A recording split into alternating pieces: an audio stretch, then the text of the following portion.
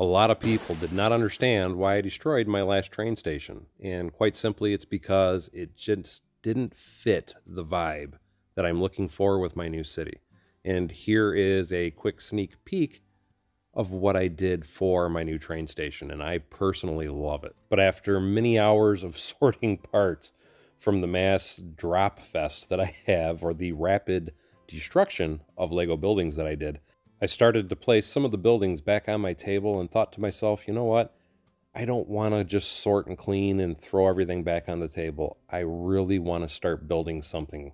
So I decided to start with my train station first. And what I did is I, I first mocked it up over at my build station. Uh, it's a lot easier for me to build things at my build station and get a, a decent idea because all my parts are readily accessible, which makes things a lot easier because anytime you have a change of heart, change of direction, change of thoughts, you can just reach back and grab a new part and change things up as you go. What I'm doing for this particular building to give it the appearance that it has is I'm building everything with one by two plates.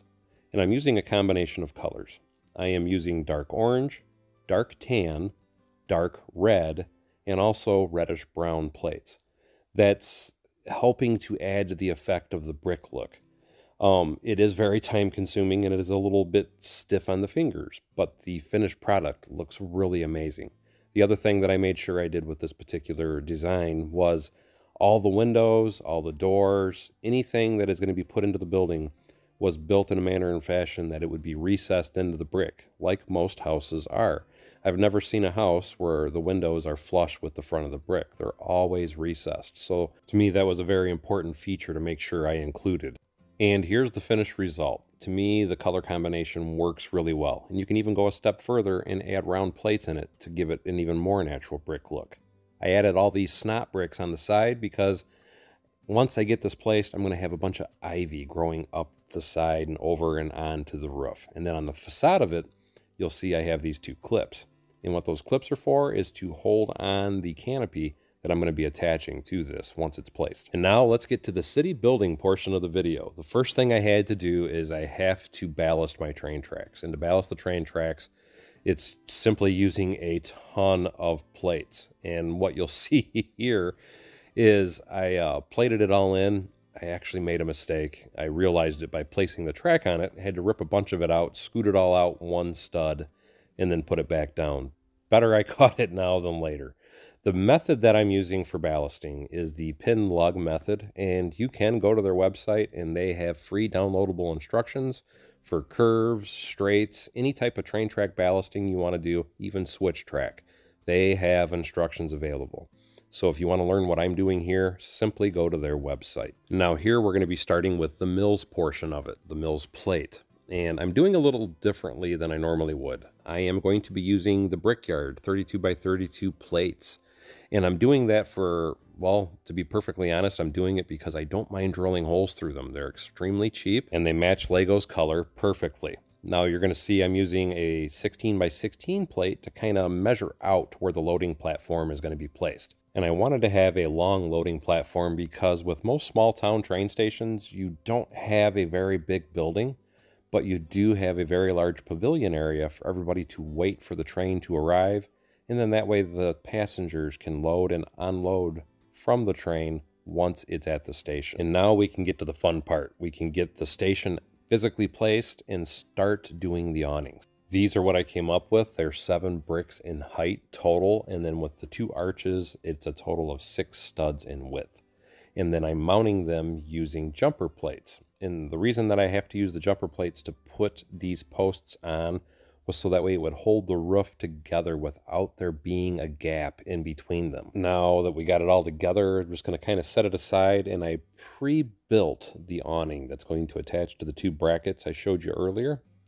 And with me doing that, it's going to allow me to attach the awning to either side and then figure out exactly what I have to do for placement of the legs. What the end result ended up being is I had to add two plates.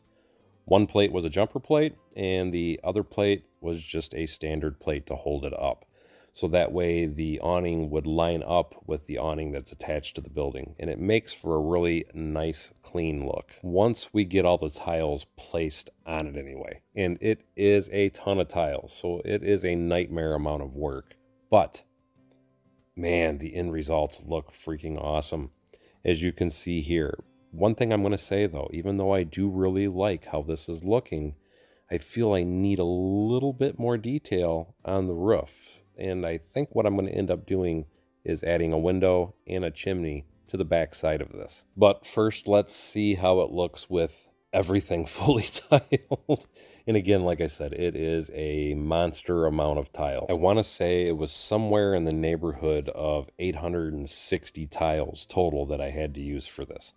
And the reason that I actually did this particular method, not only does it look good, but I was trying to get a slate roof look to it. So that's why I used the colors that I chose, which is dark bluish gray, light bluish gray, and then sand blue, because they really complement each other well. Next, I had to make up some of the ivy pieces I was going to have growing up the wall, and all I'm simply using is the green, small, and large leaf pieces with the smaller olive green three-leaf sprues in each one of these. But before I could place any of that, I had a lot more tile work to do. This time, though, it was on the loading platform. And the reason I had to get the tile work done on the loading platform first was so that way I could place the leaf pieces on the side without having to worry about retiling it and removing those later. I took the awnings off because I thought since I'm going to be tiling the deck, I might as well just tile it all out and just be finished with it. And it made it a lot easier by removing the awnings off the top of it to do it. I at first tried to do it underneath, but it was just way too much of a struggle.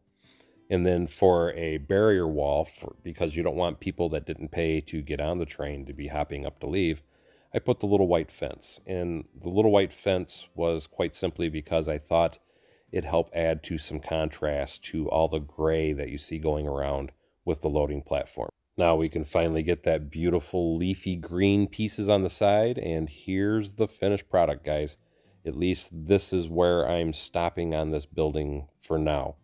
I still have a lot more work to do. I want to add a lot of different grass and weeds and things like that in and around the train tracks.